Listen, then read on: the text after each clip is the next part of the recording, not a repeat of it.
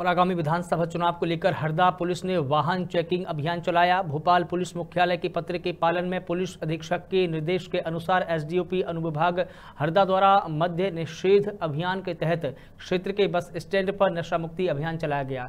इस अभियान के अंतर्गत सभी वाहन चालकों को नशा कर वाहन न चलाने की समझाइश दी गई है।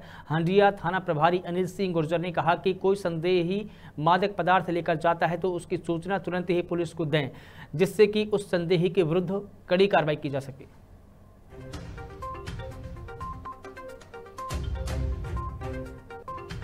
मुख्यालय के निर्देश में और श्रीमान पुलिस अधीक्षक महोदय के आदेश अनुसार दो तारीख से लेकर आठ तारीख के बीच में नशा मुक्त अभियान को रखा गया है। इसके तहत सार्वजनिक स्थान, स्कूल और चौराहे व लोगों को समझाइश दी जा रही है। मत निषेध सप्ताह के तहत कि नशा से दूर रहे और युवा पीढ़ी जो नशा की तरफ़ ज़्यादा बढ़ रही है, उसको समझाने के लिए प्रयास किया जा रहा है।